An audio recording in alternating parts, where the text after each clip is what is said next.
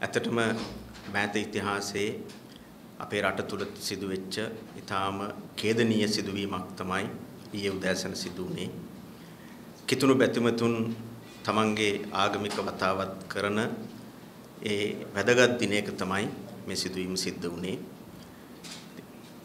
මේ ප්‍රහාරය ඊ타මත්ම පහත් ඒ වගේම ම්ලේච්ඡ තිරිසන් ගණයේ ප්‍රහාරයක් අපි පක්ෂයක් විදිහට මේ තිරිසන් ම්ලේච්ඡ ප්‍රහාරය මුළුමනින්ම හෙලා දකින්නවා පිළිකුලෙන් යුක්තව මේ ප්‍රහාරය අපි හෙලා දකිනවා ඒ වගේම මේ ප්‍රහාරයත් එක්ක දැනට වාර්තා වෙලා තියෙන විදිහට 290කට ආසන්න පිරිසක් ජීවිතක්ෂයටපත් වෙලා තියෙනවා 500කට වැඩි ප්‍රමාණයක් තවමත් අසාධ්‍ය තත්ත්වයේ රෝහල්ගතව ඉන්නවා.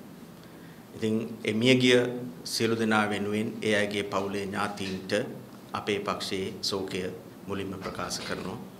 ඒ වගේම රෝහල්වල ප්‍රතිකාර ලබන ඒ සිදුවීමට මුහුණ දීපු ඒ සියලු රෝගීන්ගේ පවුල් වලටත් අපේ ශෝකය ප්‍රකාශ කර සිටිනවා. මේ සිද්ධිය තා බැරෑරුම් තාමත්ම සංවිධානාත්මකව සිද්ධ කරපු සිදුවීමක් කියන එක පැහැදිලි. එකවර ස්ථාන ගණනාවක මෙවැනි ප්‍රහාරයක් දියත් කරන්න සංවිධාන මෙහෙයුමක් නැතුව කරන්න බෑ. තනි පුද්ගලයෙකුට හෝ දෙන්නෙකුට තමන්ගේ හිතුමනාපෙට මෙවැනි දෙයක් කරන්න බෑ. ඒ නිසා ඊට පැහැදිලි මෙය යම්කිසි සංවිධානාත්මක කණ්ඩායමක් විසින් මෙහෙවන ලද්දක් කියලා. ඉතින් දැනට විවිධ ආරංචි මාර්ග ලැබෙනවා මේ පිළිබඳ තොරතුරු රජයේ බුද්ධ්‍යංශ වෙත ලැබුණා. ඒ පිළිබඳ කලට වේලාවට નિયમિત පරිදි තීන්දුව తీරන ගත්තේ නැහැ කිය. අගමැතිවරයාගේ ඊයේ කරන ලද ප්‍රකාශනොත් එතුමා පැහැදිලි කරා එවැනි තොරතුරු ලැබිලා තියෙනවා. ඒත් ඒවා මත තීන්දුව නොගත් එක අඩුවක් කියන එක. ඒකෙන් පැහැදිලි වෙන්නේ දේශපාලන නායකත්වය මේ පිළිබඳ ඍජු ෂණික තීන්දුව ගත්තේ නැහැ කියන්නේ. රජයක් විදිහට රජයට වගකීමක් තියෙනවා ජනතාවගේ ආරක්ෂාව තහවුරු කරන එක. සමස්ත ශ්‍රී ලාංකීය ජනතාවගේ ආරක්ෂාව තහවුරු කිරීම රජයේ මූලික වගකීමක්. ඒ රාජ්‍ය නිලධාරීන්ගේ පැත්තෙන් ඒ අවශ්‍ය කරන තොරතුරු කල්ැතුව ලබා දුන්නා නම් ඒ අනුව තීන්දුව ගැනීම ඒ අනුව ශනික තීරණ ගැනීම අදාළ දේශපාලන බලාධිකාරී වගකීම. නමුත් ඒ වගකීම නිසියාකාරව ඉටු වෙලා නැහැ. ඉටු වුණා නම් මේ සිදුවීම් වළක්වා ගත හැකිව තිබුණා. ස ජනතාවගේ ආරක්ෂාවට වග කියන්නේ ජනතාවගේ ආරක්ෂාවට වගකීමේ වගකීමේ වගකීම තියෙන්නේ ආණ්ඩුවට. නමුත් දේශපාලන බලාරගලේ යෙදිලා ඉන්නවා මිසක් මේ ජනතාවගේ ජීවිතවල ආරක්ෂාව පිළිබඳ තීන්දුව ගන්න ඔවුන් මැදිහත් වෙලා නැති බව තමයි මේකෙන් තහවුරු වෙන්නේ. ඉතින් ඇත්තටම මේ පිළිබඳ තොරතුරු කල්ැතුව ලැබිලා තියෙද්දිත් ඒ පිළිබඳව දේශපාලන බලාධිකාරිය තීරණ නොගැනීම ඊටාම පරපතල වරද්දක් විදියට තමයි අපි දකින්නේ. නිසා දැන්වත් ඒ ජනතාවගේ ජීවිත අහිමි වීම පිළිබඳව ඒ සිදුවීම් පිළිබඳව වහාම කඩිනම් පරීක්ෂණ පැවැත්විය යුතුයි.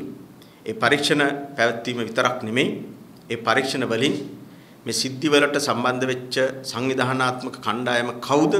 ඒක ජාතික වශයෙන් ක්‍රියාත්මක වෙච්ච එකක්ද? ජාත්‍යන්තර වශයෙන් ක්‍රියාත්මක වෙච්ච සංවිධානයක්ද? එහි මූලිකයන් කවුද කියන එක වහාම හොයාගෙන රටේ ජනතාවට සත්‍ය තොරතුරු වහාම ලබා දිය යුතුයි.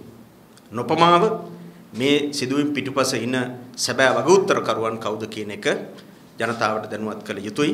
මොකද ජනතාව දැන් බීතියටපත් වෙලා ඉන්නේ. හෙට දවසේ මොනවයින් මොනවන් සිද්ධ වෙයිද මොන සිදුවීම් වලට මොන දෙන්න වෙයිද කියන එක මත. ඒ නිසා රජයේ වගකීමක් විදිහට අපි දකිනවා වහාම මේ පිළිබඳ පරීක්ෂණ කඩිනම් කරලා මේ සිදුවීම් මෙහෙවන ලද්දේ කවුරුන් විසින්ද මේට සම්බන්ධ වූවන් කවුරුන්ද ඒ අය ගැන තරාතිරම නොබලා නීතිය ක්‍රියාත්මක කරන්න. මොකද රටේ ජනතාව බලාගෙන ඉන්නවා හෙට දවසේ තමන්ගේ ජීවිත ආරක්ෂාව ආණ්ඩුව පැත්තෙන් ආරක්ෂා කරයි කියලා. ඒ නිසා ආණ්ඩුවට වගකීමක් තියෙනවා මේ පිළිබඳ ෂණික මැදිහත් වීමක් කරන්න. ඉතින් එතෙන්දී එක එක්කෙනා මත මේක පටවලා තමන් ඇඟ බේර ගන්න එක සුදුසු නැහැ. මේක අපි දන්නේ නැහැ. අපිට දැනුම් දුන්නේ නැහැ. අතෙන්ට ඇවිල්ලා තියෙනවා. එතනින් එහාට ආවේ නැහැ. එහෙම කියලා එකිනෙකා මත වගකීම් පටවා ගැනීමෙන් පවරා ගැනීමෙන් මේකට උත්තර ලැබෙන්නේ නැහැ. සමස්ත ආණ්ඩුවක් විදිහට නිලධාරීන්ගේ පැත්තෙන් ලැබිච්ච තොරතුරු මත ඒ පරීක්ෂණ වහාම කඩිනම් කරන්න දේශපාලන තීන්දුව අරගෙන දැන්වත් ඒ පිළිබඳ වහාම නීතිමය ක්‍රියාමාර්ග ගත යුතු තියෙනවා. ඒ වගේම තමයි මෙවැනි සිද්ධියක් ඇති වුණාම සාමාන්‍යයෙන් අපේ රටේ සිද්ධ වෙන දේ තමයි එක එක කණ්ඩායම් වල එක එක දේශපාලන ඌමනාවන් මත මේව පාවිච්චි කරනවා. පටු දේශපාලන න්‍යායපත්‍රයන් වලට මෙවැනි සිදුවීම් යොදා ගන්නවා. අපි තා ඕනෑකමින් ඉල්ලා සිටිනවා මේ සිදුවීම එකිනෙකාගේ පටු දේශපාලන ඌමනා වෙනුවෙන් පාවිච්චි කරන්න එපා. මේක ජාතික විපතක්. ජාතික ව්‍යසනයක්. මෙතෙන්දී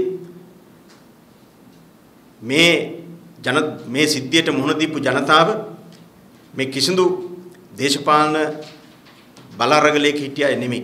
ඒ නිසා එකිනෙකාගේ දේශපාලන න්‍යායපත්‍ර පටු දේශපාලන අරමුණු වෙනුවෙන් මේ පාවිච්චි කරලා තවදුරටත් මේ රටේ ජනතාව මෙවැනි විපත් වලට ඇද දාන්න එපා.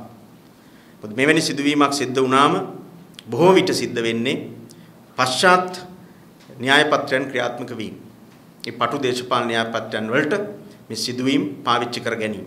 ඒ නිසා අපි තා ඕනෑකමින් වගකීම්තන්ගෙන් ඉල්ලා සිටිනවා මේ සිදුවීම පටු දේශපාලන න්‍යායපත්‍ර වලට පාවිච්චි කරගන්න එපා.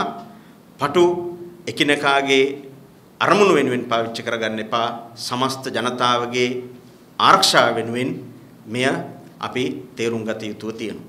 එතෙන්දී මෙවැනි ජාතික විපතක් සිද්ධ වුණාම පක්ෂපාත ආගම් කුල ભેදයකින් ජාතිකත්ව ભેදයකින් තොරව අපි හැමෝම එකට එකතු වෙලා මෙවැනි ව්‍යසනයක් නැවත ඇතිවීම වළක්වා ගත යුතුව තියෙනවා. ඒ නිසා අපි සමස්ත රටේ ජනතාවගෙන් ඉල්ලා සිටිනවා මේ සිදුවීම පාදක කරගනිමින් කලබල වෙලා සනික තීන්දුව తీරන අරගෙන මෙවැනි සිදුවීම් තවත් දහස් ගණනක් ඇති වෙන්න ඉඩ තියන්න එපා. මොකද මේ සිද්ධිය මත හැඟීම් ඇති වෙනවා. ඒ හැඟීම් මත පදනම් වෙලා සමහර ප්‍රතිචාර දක්වන්න ගියොත් එකෙන් තවත් ප්‍රශ්න මතුවෙන්න පුළුවන්. ඒ නිසා අපි සමස්ත ජනතාවගෙන් ඉල්ලා සිටිනවා මේ සිදුවීම පිළිබඳව අපි කලබල වෙලා හැඟීම්බර වෙලා ප්‍රචාර දක්වන්න ගියොත් මීට වඩා තවත් සිදුවීම් ඇති වෙන්න ඉඩ කඩ තියෙනවා. ඒ වෙනි තත්වයකට කිසිදු ආකාරයකින් හවුල් වෙන්න එපා. අපි රටක් විදිහට ශ්‍රී ලාංකීය ජාතියක් විදිහට සිංහල දෙමළ මුස්ලිම් බර්ග මැලේ සියලු දෙනාම එකතු වෙලා මෙවැනි ජාතික විපතකදී අපි මුහුණ දෙන්න ඕනි අවස්ථාවක්. ඒ නිසා එවැනි අවස්ථාවක් යයි මේක තේරුම් ගනිමින් අපි ඔක්කොම එකතු වෙලා නැවත මෙවැනි විපතක් ඇති නොවෙන්න වග බලාගත යුතුයි. අන්න ඒ සඳහා සංගමයෙන් යුක්තව කටයුතු කරන්න කියලා අපි සමස්ත ශ්‍රී ලංකා වාසී ජනතාවගෙන් ඉතා ඕනෑකමින් ඉල්ලා සිටිනවා.